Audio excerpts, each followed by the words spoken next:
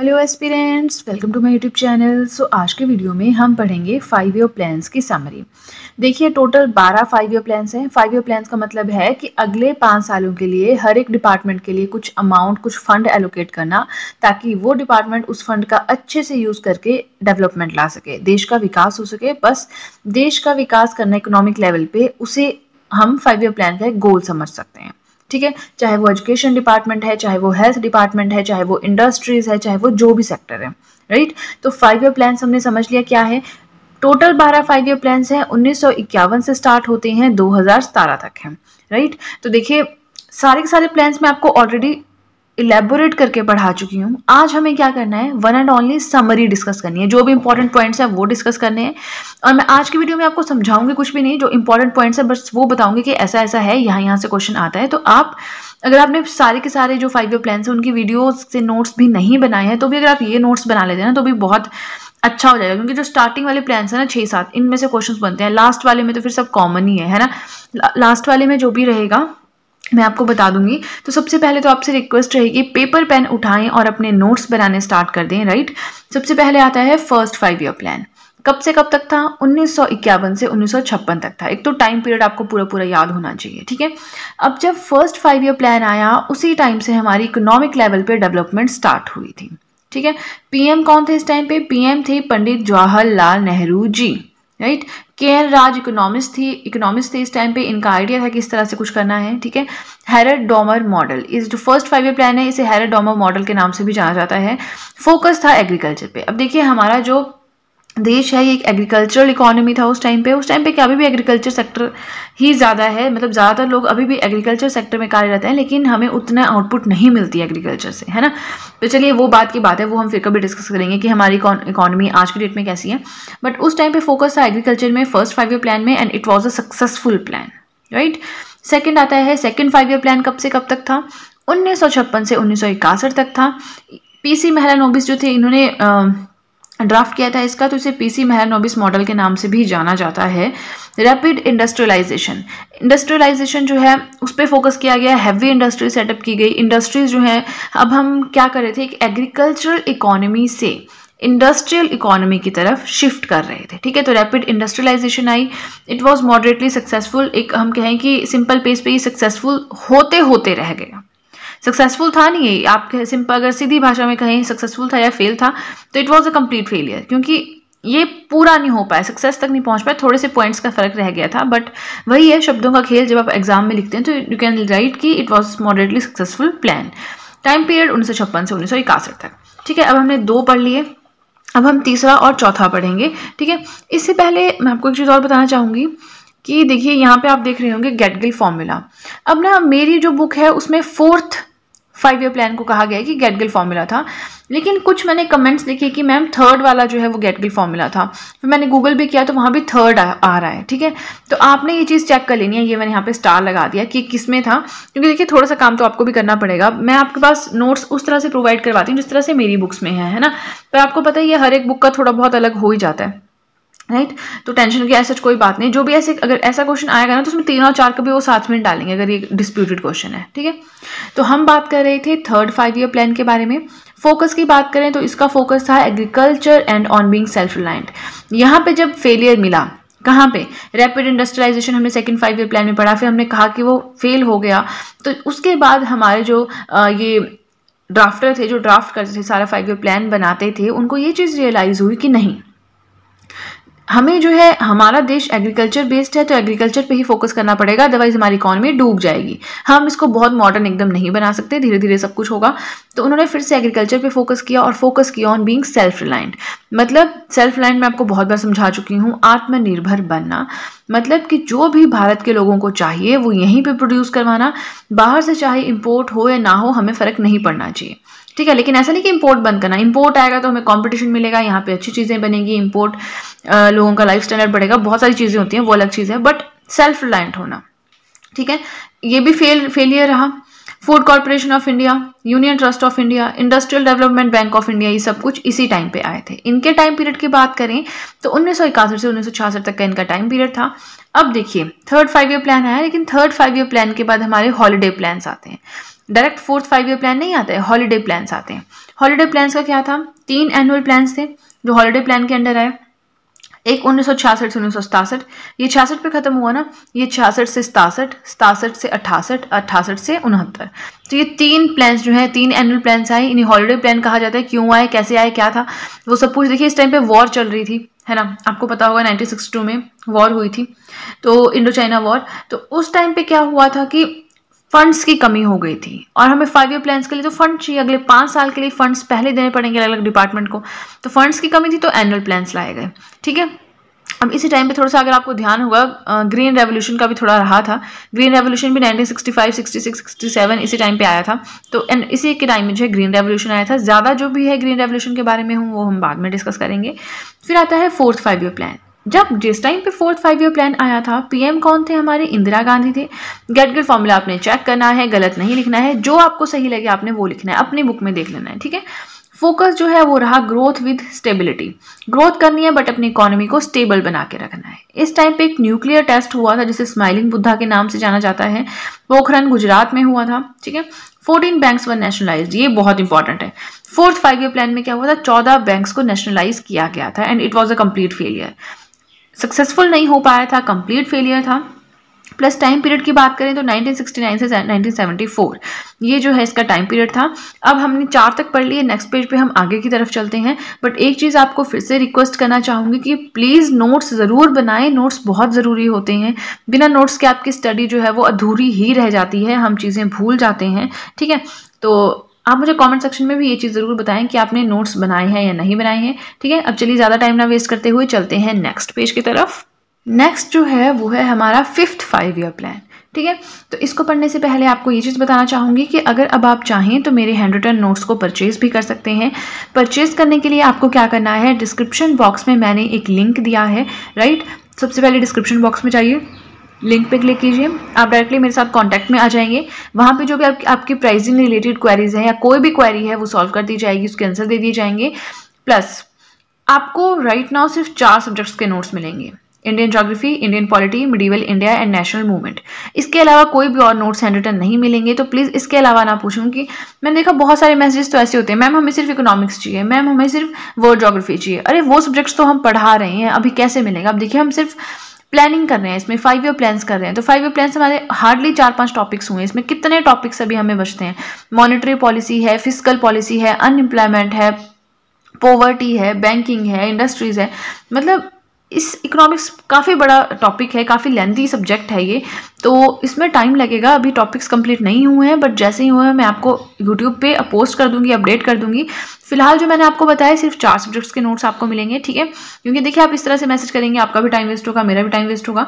तो अगर आप नोट्स को सीरियसली परचेज करना चाहते हैं just let me know fine हम अब बात कर रहे थे फिफ्थ फाइव ईयर प्लान के बारे में। टाइम पीरियड का पता होना चाहिए, उन्नीस से उन्नीस सौ से सेवेंटी ये सिर्फ़ शॉर्ट नोट्स हैं राइट हम इलेबोरेट करके पहले ही आपको पढ़ा चुकी हूँ मैं। So fifth five year plan की बात करें तो फोकस था पोवर्ट एलिवेशन पे मतलब गरीबी हटाना है।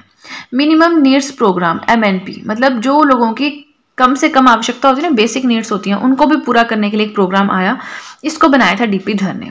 ये जो पूरा का पूरा प्लान था सी सुब्रमण्यम का था, इस टाइम पे ट्वेंटी पॉइंट प्रोग्राम आया टीपीपी इसे कहते हैं। क्या चीज़ था वो मैं नेक्स्ट तीन चार वीडियोस के अंदर अंदर ये आ जाएगा, क्या चीज़ था, हल्का सा आपको अंडरस्टैंडिंग के लिए।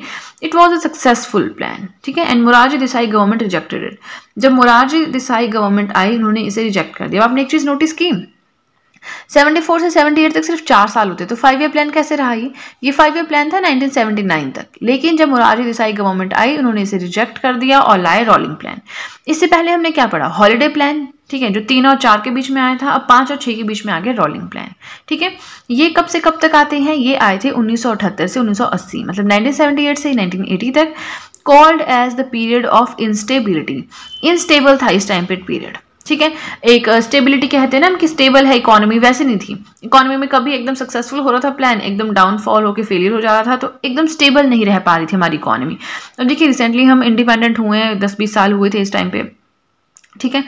तीस साल हुए होंगे अप्रॉक्सीमेटली तो उस तरह से चल रहा था काम। Now called as period of instability ये हमने पढ़ लिया। गुनार मिडल का आइडिया था कि रोलिंग प्लान लाया जाए। जनता पार्टी इंट्रोड्यूस्ड जनता पार्टी जिस टाइम पे आई थी, उन्होंने इंट्रोड्यूस किया था रोलिंग प्लान 1978 से 1980 तक। ये भी ऐसे आए थे, ठीक है? आईआरडीपी आया उन्नीस अस्सी में, कांग्रेस आई, उसके बाद कांग्रेस ने इसे रिजेक्ट कर दिया। कांग्रेस उन्नीस अस्सी में आई, इसको रिजेक्ट किया और फिर से जो है सिक्स फाइव ईयर प्लान आया, ठीक है? सिक्स फाइव ईयर प्लान में क्या आया? नाबार्ड आया। इकोनॉमिक लिबरेशन हुई। इकोनॉमिक लिबरेशन क्या होता है कि कोई किसी और देश से हमारे देश में सामान आया है उस पर बहुत सारा टैक्स लगा है।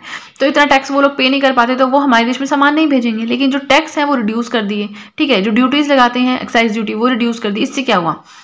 व्यापार थोड़ा खुला हो गया, है ना? फैमिली प्लानिंग पे फोकस किया गया पॉपुलेशन बढ़ने लग गई थी, ठीक है? लोगों को अंडरस्टैंडिंग नहीं थी कि बच्चे कितने होने चाहिए फैमिली छोटी होनी चाहिए, तभी बच्चों का अच्छे से पालन पोषण हो पाएगा। घर में ज़्यादा बच्चे होंगे तो उनका ध्यान नहीं रख पाएँगे, ये सब चीज़ें। जो भी था तो फैमिली प्लानिंग पर फोकस किया गया, लोगों को बताया गया इसके बारे में।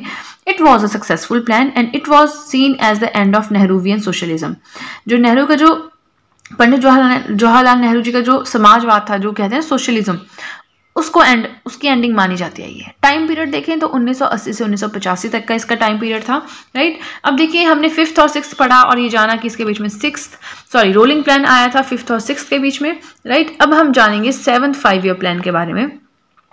सेवन्थ और एट्थ के बीच में भी कुछ आया था, ठीक है? तो वो भी हम देखेंगे। सबसे पहले सेवन्थ फाइव ईयर प्लान के टाइम में प्राइम मिनिस्टर कौन थे? राजीव गांधी जी थे। थीम क्या था? Food work and productivity food पे फोकस करना लोगों का खाना अच्छा हो, लोगों को जॉब्स मिले प्रोडक्टिविटी हमारे सेक्टर से एग्रीकल्चर है, चाहे इंडस्ट्रियल सेक्टर है, उसकी प्रोडक्टिविटी अच्छी हो, ठीक है? इस सब पे फोकस था थीम था ये। It was a successful plan और इसका एक मेन चीज़ थी कि सेल्फ सस्टेन्ड ग्रोथ बाय 2000 2000 तक हम आत्मनिर्भर होने चाहिए पूरी तरह से। हमें किसी और इकोनॉमी या किसी की हेल्प की ज़रूरत नहीं होनी चाहिए। बट ऐसा नहीं है, अभी तक देख लीजिए। हमारे देश पे कितना लोन है? आईएमएफ का है वर्ल्ड बैंक का है एडीबी का है है ना? और टाइम पीरियड की बात करें सेवन फाइव ईयर प्लान की तो उन्नीस से उन्नीस सौ नब्बे, ये टाइम पीरियड था, ठीक है? नेक्स्ट चलते हैं हम एनुअल प्लान की तरफ़। तीन और चार के बीच में हॉलीडे प्लान आया था, पाँच और छह के बीच में रोलिंग प्लान आया था, सात और आठ के बीच में एनुअल प्लान आया था। ऐसे आप याद रख सकते हैं। ठीक है बस ये तीन ही थे जो एक्स्ट्रा आए थे बाकी कहीं आपको आगे नहीं मिलेगा। सो so, हम बात करेंगे एनुअल प्लान्स की। एनुअल प्लान्स आए उन्नीस सौ नब्बे से उन्नीस यानी एक था उन्नीस से उन्नीस एक था उन्नीस सौ इक्यानवे से उन्नीस सौ बानवे। इस टाइम पे क्या थी इकोनॉमिक इंस्टेबिलिटी वही ऊपर वाली प्रॉब्लम थी रोलिंग प्लान वाली। स्टेबिलिटी नहीं हो पा रही थी हमारी अर्थव्यवस्था में। तो इसीलिए एलपीजी रिफॉर्म्स आए थे। अब आप कहेंगे, मैम एलपीजी रिफॉर्म्स तो 1998 1999 में आए थे। तो देखिए, एकदम कोई चीज़ नहीं आती है। टाइम लगता है उसको आने में। तो नाइनटी नाइनटीन नाइनटीज़ में वो इस चीज़ स्टार्ट हो गए थे, आने रिफॉर्म्स ठीक है, जिस टाइम पे ये आए थे पीएम थे नारसिम्हा राव। एलपीजी रिफॉर्म्स अब क्या है? Liquidisation sorry it's liberalisation privatisation and globalisation LPG को हम वो भी कहते हैं ना LPG gas liquefied petroleum gas तो वहाँ से मुझे ध्यान रहा। लिबरलाइजेशन प्राइवेटाइजेशन ग्लोबलाइजेशन ये एक अलग सा टॉपिक है। जब हमारा प्लानिंग कंप्लीट हो जाएगा आगे चार पाँच वीडियोस के बाद, उसके बाद फिर हमें ये टॉपिक स्टार्ट करना है एलपीजी वाला, ठीक है? मतलब यही करना है, फिर बाकी थोड़े बहुत प्लान है, थोड़ा टाइम लगेगा बट नेक्स्ट जो हमारा चैप्टर है वो यही है, ठीक है? अब एनुअल प्लान्स हो गए उसके बाद आया हमारा एट्थ फाइव ईयर प्लान जो कि था मॉडर्नाइजेशन ऑफ़ इंडस्ट्रीज़ इंडस्ट्रीज़ में मॉडर्नाइजेशन लानी इंडस्ट्रीज़ सेटअप हो गई है टेक्नोलॉजी आ गई, सब कुछ हो गया, थोड़ा मॉडर्न करना है उनको। पुराना स्टाइल हम यूज़ कर रहे थे, थोड़ा मॉडर्न करना है, ठीक है? नाउ इंडिया इंडिया बना member W world trade organisation का कब? 1999 सॉरी 1995 फ़र्स्ट जनवरी को। इस टाइम पे आई थी PM Rozgar Yojana. It was a successful plan और इसमें क्या था? Involvement of panchayat and nagar palikas in administration प्रशासन में पंचायतों और नगर पालिकाओं की इन्वॉल्वमेंट ला, इन्वॉल्वमेंट लानी है ठीक है? प्रशासन में। और एट्थ फाइव ईयर प्लान का टाइम पीरियड क्या था? उन्नीस सौ बानवे से उन्नीस सौ सतानवे तक ठीक है? तो आठ तक हमने फाइव ईयर प्लान्स पढ़ लिए। सबसे ज़्यादा इंपॉर्टेंट यहीं तक है। अब जो आगे वाले चार हैं ना, उनमें एक एक दो दो चीज़ें हैं जो पढ़ने वाली हैं और ज़्यादा कुछ नहीं है। ठीक है? तो एक चीज़ और बताना चाहूँगी, आप लोग हमेशा कहते हैं ना कि, मैम, आप इंस्टाग्राम पे अकाउंट बनाइए ताकि हम आपसे डायरेक्टली कांटेक्ट कर पाएँ। तो मैंने इंस्टाग्राम पे अकाउंट बना दिया है, उसका लिंक भी डिस्क्रिप्शन बॉक्स में दे दिया है। आपको जस्ट उस लिंक पे क्लिक करना है और डायरेक्टली आप मुझे फॉलो कर सकते हैं इंस्टाग्राम पे। एंड यस प्लीज़ मुझे फॉलो करें बिकॉज़ आप लोगों की डिमांड पर मैंने अकाउंट बनाया है। ठीक है? तो चलिए ये भी हमारा पेज हो गया कंप्लीट अब चलते हैं हम नेक्स्ट पेज की तरफ़, जिसमें हम पढ़ेंगे लास्ट के बचे हुए चार फाइव ईयर प्लान एंड हमारा वीडियो हो जाएगा समरी वाला कंप्लीट राइट नेक्स्ट हमें पढ़ना है नाइन्थ फाइव ईयर प्लान के बारे में राइट तो टाइम पीरियड सबसे पहले पता होना चाहिए 1997 से 2002 उन्नीस से 2002 तक। और उन्नीस सौ सत्तानवे में क्या चीज़ हुई थी? देखिए 1947 में हमें इंडिपेंडेंस मिली थी, ठीक है? तो टोटल 50 ईयर्स सिंस इंडिपेंडेंस उन्नीस सौ सत्तानवे में हमें टोटल 50 साल हो गए थे आज़ाद हुए हुए, ठीक है? प्राइम मिनिस्टर कौन थे इस टाइम पे? अटल बिहारी वाजपेयी जी। एम क्या था? ये इंपॉर्टेंट है to achieve complete elimination of poverty गरीबी को पूरी तरह से हटाना है। ये एम था। देखिए, गरीबी को तो आप भारत से नहीं हटा सकते हैं। रीजंस भी हम जब पॉवर्टी पढ़ेंगे तो हम डिस्कस करेंगे। बट ये एक ऐसी चीज़ है जिसे हम पूरी तरह से एक पॉवर्टी हो गई, एक अनएम्प्लॉयमेंट हो गई। ये बड़ी तगड़ी चीज़ें हैं। इनको आप इतने ईजिली नहीं हटा सकते हैं। एक रीजन इसका पॉपुलेशन भी है। पॉपुलेशन इतनी ज़्यादा है, सरकार कितने लोगों को रोज़गार देगी? कितने लोगों को खाना फ्री में देगी? है ना? And and it was a complete failure एक चीज़ याद रखनी है, नवा, दसवां, ग्यारहवां, बारहवां। टोटल जो चार के चार प्लान है, चारों फेलियर है, ठीक है? तो इसमें जो इंपॉर्टेंट पॉइंट्स है, वही लिखी है। क्वेश्चन आ सकते हैं कि जिस टाइम पे अटल बिहारी वाजपेयी जी प्राइम मिनिस्टर थे, कौन सा फाइव ईयर प्लान चल रहा था? क्वेश्चन उल्टा भी पूछते हैं। तो नाइन्थ पचास साल हो गए थे कंप्लीट एलिमिनेट करना था पोवर्टी को। ये सब हो गया 1997 से 2002 तक। नेक्स्ट आता है टेंथ फाइव ईयर प्लान इसमें क्या था? To promote inclusive growth overall हर एक लेवल पे ग्रोथ होनी चाहिए। ऐसा नहीं अमीर अमीर हो रहा है, गरीब बेचारा वही उसी पोजीशन पे है मिडिल क्लास बेचारा टैक्स दे रहा है। नहीं। इंक्लूसिव पूरे लेवल पे ग्रोथ होनी चाहिए। क्रिएटिंग एम्प्लॉयमेंट फॉर 80 मिलियन रोज़गार पे फोकस हुआ कि 80 मिलियन को तो एटलीस्ट इन पाँच सालों में 2002 से 2007 तक इन पाँच सालों में जॉब्स मिलनी चाहिए। But it was also complete failure right अब देखिए, नौ दस हमने पढ़ लिया। दो दो चीज़ें इसमें इंपॉर्टेंट है पढ़ने वाली, ज़्यादा इनमें है नहीं, ठीक है? अब हम पढ़ेंगे next eleventh five year plan के बारे में। So eleven five year plan जो है C Rangarajan prepared this plan इन्होंने इस प्लान को बनाया था। ठीक है? एम क्या था? एनवायरमेंटल सस्टेनेबिलिटी एनवायरमेंट को सस्टेन करके बचा के रखना है। ठीक है? अब थोड़ी सी जो है एनवायरमेंटल इश्यूज़ होने लग गए होंगे इस टाइम पे। जैसे कि क्लाइमेट चेंज हो गया ग्लोबल वार्मिंग हो गई ग्रीन हाउस गैसेस का इफ़ेक्ट वो सब चीज़ें। तो इसलिए थोड़ा सोचा गया कि हमें एनवायरमेंट को भी बचा के रखना है। है ना? नेक्स्ट आता है provide clean drinking water to all by 2009 2009 तक सबको साफ़ पानी प्रोवाइड होना चाहिए पीने के लिए। ये भी इलेवंथ फाइव ईयर प्लान में था। अब सोचिए कि इस टाइम किस टाइम की बात हुई? 2007 और 12 इस टाइम के आसपास लोगों को साफ़ पानी भी पीने के लिए नहीं मिलता था। ठीक है? तो क्या हमारे देश की हालत रही होगी? जिसे एक टाइम पे सोने की चिड़िया कहा जाता था, अंग्रेज़ों ने यहाँ पे आके क्या हाल कर दिया? हमारे देश का कि पीने के लिए पानी नहीं बचा right increase enrolment in higher education higher education जो है, वहाँ पे बच्चों की एनरोलमेंट बढ़ानी है, ताकि बच्चे ज़्यादा से ज़्यादा स्कूल आएँ। आर टी ई दो हज़ार दस राइट टू एजुकेशन दो हज़ार दस, ये भी आया था, ठीक है? जिसमें क्या था free and compulsory education to all the children from age six to fourteen years वो पढ़ते हैं ना वो सब कुछ इसमें था। But it was also a complete failure जैसे मैंने आपको बताया, नौ, दस, ग्यारह, बारह याद रखने फेलियर ही थे। 2007 से 2012 ये इसका टाइम पीरियड था, ठीक है? ग्यारह हो गए हमारे, अब हम बारहवा देखते हैं। अब एक चीज़ यहाँ पे आपको बताना चाहूँगी। देखिए, अगर आप अपने आप नोट्स बनाना चाहते हैं, आप नोट्स परचेज नहीं करना चाहते हैं तो वो भी आपके पास ऑप्शन है। काफ़ी ज़्यादा सब्जेक्ट्स के मैंने हैंड रिटन नोट्स की वीडियोस कंप्लीट कर दी हैं अपलोड करके। तो आप डिस्क्रिप्शन बॉक्स में जाके देख सकते हैं। काफ़ी ज़्यादा मैंने लिंक दिए हैं पूरी पूरी प्लेलिस्ट के। शुरू से लेकर एंड तक अगर आप वीडियोस देखेंगे तो बिलीव में बहुत ज़्यादा इंप्रूवमेंट होगी आपकी नॉलेज में राइट तो वो ये भी ऑप्शन है कि आप अपने आप नोट्स बनाएँ तो बेटर ऑप्शन है, क्योंकि अपने नोट्स से ऐसा होता है ना बहुत ज़्यादा फ़ायदा होता है। आपको पता होता है कौन सी चीज़ कहाँ लिखी है, अपने स्टाइल से आप नोट्स बनाते हो। हर एक का अलग स्टाइल होता है नोट्स बनाने का, है ना? कई खुले खुले नोट्स बनाते हैं, कई टाइट बनाते हैं, कई डेकोरेटिव स्टाइल में बनाते हैं, कई एक ही पेन से बना देते हैं। तो सबका अपना स्टाइल होता है पढ़ने का राइट तो चलिए ज़्यादा टाइम ना वेस्ट करते हुए अब हम पढ़ेंगे ट्वेल्थ फाइव ईयर प्लान के बारे में which is the last five year plan right theme क्या था इसका? Faster more inclusive and sustainable growth growth को थोड़ा बढ़ाओ स्पीड बढ़ाओ इंक्लूसिव लेवल पे हो। हर एक इंसान को जो है फ़ायदा मिले, है ना? ग्रोथ हो, हर एक लेवल की ग्रोथ हो। ऐसा नहीं अमीर अमीर, गरीब गरीब रह रहे हैं ना? To provide electricity supply in all villages अब सोचिए, इस टाइम पे लोगों के पास बिजली नहीं थी घरों में। जो ये इलेक्ट्रिसिटी सप्लाई का टारगेट रख रहे थे अभी, है ना? तो बिजली घर घर तक इलेक्ट्रिसिटी घर घर तक, हर एक गाँव तक पहुंचानी है, ये भी टारगेट था। And it was also a complete failure याद रखना है नाइन्थ फाइव ईयर प्लान में पूरी की पूरी गरीबी हटानी थी। टेंथ में लोगों को जॉब्स देनी थी।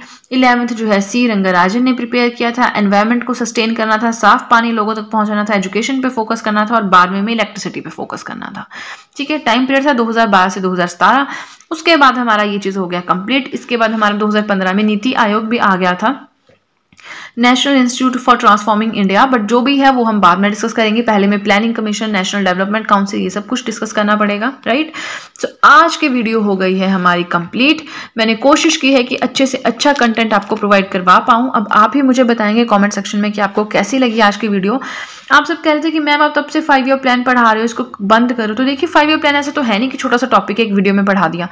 अब फ़र्स्ट फाइव ईयर प्लान आप देखिए सेकंड फाइव ईयर प्लान देखिए कितने बड़े बड़े टॉपिक्स हैं है ना? तो उनको मैं अगर एक वीडियो में पूरे बारह के बारह पढ़ाती तो दो तीन घंटे की वीडियो हो जाती, है ना? दो तीन घंटे की भी नहीं तो कम से कम एक डेढ़ घंटे की तो होती, है ना? तो वो चीज़ सही नहीं थी, इसलिए मैंने थोड़ी छोटी छोटी वीडियोस बनाई हैं तो इससे क्या होता है बोर भी नहीं होते, है ना? अपलोडिंग में भी मुझे इशू नहीं होता। अब आज मैंने समरी की कंप्लीट वीडियो बना दी है, जिसने वो पुरानी भी नहीं देखी, ये वीडियो भी जिसने पूरी देख ली, उसका भी काफ़ी ज़्यादा फ़ायदा हो जाएगा, जिसने नोट्स बना लिए, बस उसका तो बहुत फ़ायदा हो जाएगा, क्योंकि मैक्सिमम क्वेश्चन यहीं से बनते हैं, ठीक है? पर हंड्रेड हंड्रेड परसेंट की गारंटी कोई भी नहीं देता, क्योंकि आजकल आपको पता ही है पेपर डालने वालों का दिमाग खराब हो गया है, पढ़ने वालों का भी दिमाग खराब हो गया है कॉम्पिटिशन इतना ज़्यादा बढ़ गया आप जो मर्ज़ी पढ़ लो, कम है। ठीक है? तो आज की वीडियो के लिए इतना ही। आपने मुझे कमेंट सेक्शन में ज़रूर बताना है आपको वीडियो कैसी लगी। और अगर आपको वीडियो अच्छी लगी है तब तो आपको बहुत ही अच्छे से पता है क्या करना है। जल्दी से कर दीजिए चैनल को सब्सक्राइब बेल आइकन को कीजिए प्रेस सो दैट मैं जैसे कोई वीडियो अपलोड करूँ सबसे पहले नोटिफिकेशन आपके पास पहुँचे राइट सो so, आज की वीडियो के लिए इतना ही। नेक्स्ट वीडियो में भी हम जानेंगे इकोनॉमिक प्लानिंग क्या होती है प्लानिंग के टाइप्स क्या होते हैं right so that's it guys and see you soon